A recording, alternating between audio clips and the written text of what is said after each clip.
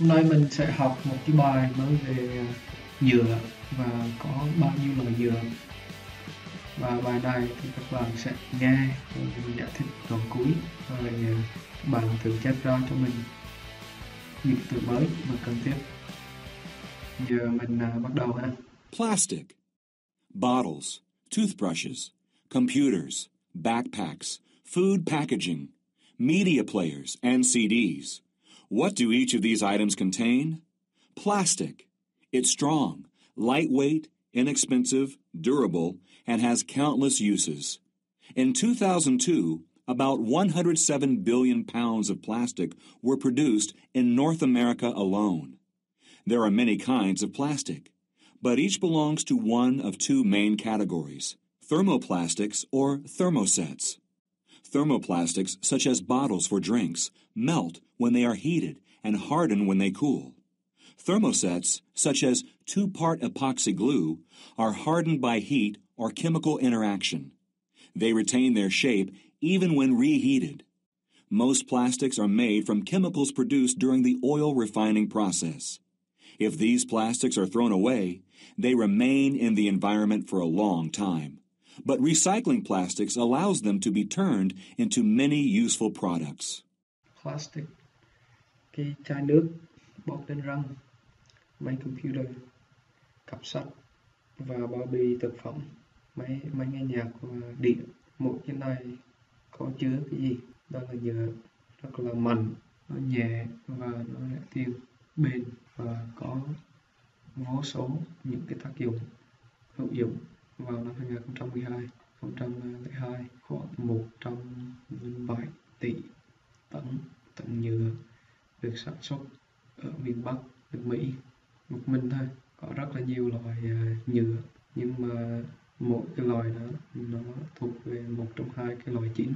Đó là một là cái thermoplastic thermo thermo nói về nhiệt hoặc là therm thermoset set nó cứng lại thermoplastic là như là cái, cái, cái chai nước uống nó chảy khi mà bị nóng lên và nó cứng lại khi nó nó lăn xuống. Thermoset như là cái cái loại keo cái loại keo epoxy đó nó cứng lại khi mà nóng hoặc là hoặc là chiều sự tương tác của hóa học. Nó giữ cái cái, cái hình dạng của nó khi mà ngay cả khi mà nó bị ờ, nó bị ờ, hâm nóng lại số nhiều cái cái loại nhựa này á, là làm là được làm từ các khoa học tạo ra trong cái quá trình thanh lọc thanh lọc dầu. Và nếu những cái cái loại nhựa này mà,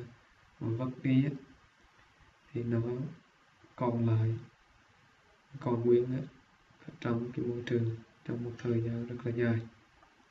Nhưng mà cái việc tái chế nhựa lại uh, làm cho nó được hóa thành nhiều cái loại sản phẩm mà có ích. More than one third of all plastic is used for disposable goods, such as bottles and bags.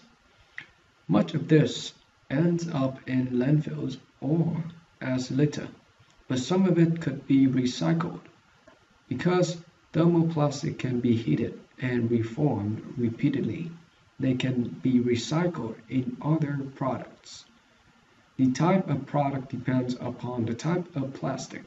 For example, polyethylene, the ref PET water bottle can be turned into fleece jacket and blankets high density polyethylene. Milk bottle can become floor tile. Polystyrene compact disc jacket can become egg cotton. PET is light and airtight, good for carbonated beverage. HDPE is tougher and resistant to solvents. PS is rigid and can be formed to form insulation. Chữ R này có nghĩa là uh, recycling, tái chế. Một hơn 1 phần 3 của tất cả cái loại nhựa được sử dụng cho những cái hàng hóa chỉ xài một lần thôi là vứt như là cái chai nước và cái bì bóng. Còn số nhiều những cái này á, thì bị vứt bị ờ, đem đi vào trong những cái cái bãi rác hay là bị xả rác. Như một số có thể sử dụng để mà tái chế nó bởi vì cái loại thermoplastic này có thể bị à, hâm nóng lên và làm thành hình lại rất là nhiều lần và chúng có thể được tái chế vào thành nhiều cái loại sản phẩm khác cái loại sản phẩm tùy thuộc vào cái loại nhựa, ví dụ cái loại polyethylene này, polyethylene terephthalate là sử dụng trong cái cái bình nước và có thể biến thành, trở thành à, áo khoác lông cừu, áo khoác lông cừu hoặc là men còn còn cái, cái loại nhựa high density này, polyethylene này sử dụng trong những cái chai đựng sữa và có thể trở thành những cái cái sàn gỗ cái sàn bằng nhựa đó những cái tấm sàn. Và cái loại polystyrene này nó được nén lại trở thành những cái cái đĩa đĩa CD đó. Hoặc là có thể trở thành những cái thùng thùng cắt tông để mà để trứng. Cái loại PET này này rất là nhẹ và nó có thể ờ, đóng đóng kín và nó được ờ, sử dụng cho những cái loại ờ, nước uống nước uống giải khát đó. nước uống giải khát có ga cái loại HDPE này nó, nó cái trọng lực đối gì bên ngoài hơn HDPE này rất là, là nó dài hơn và nó chịu đựng được được nước loại PS này nó cứng và nó có thể thổi phồng lên thổi thành số để mà làm insulation cách nhiệt trong nhà rồi đó. From milk bottles to lawn chairs. It looks like wood, but The lumber used to build these chairs is actually made, made of recycled high-density polyethylene that has been ground into flakes, die, melted, and remolded into boards.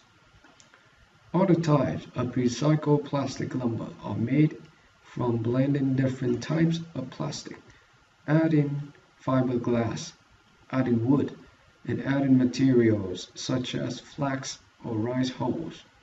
Plastic lumber is used to make variety of products, include table, fencing, signs, decks, house siding, bulwarks, and railroad ties. Plastic lumber has ever been used to building bridges for cars.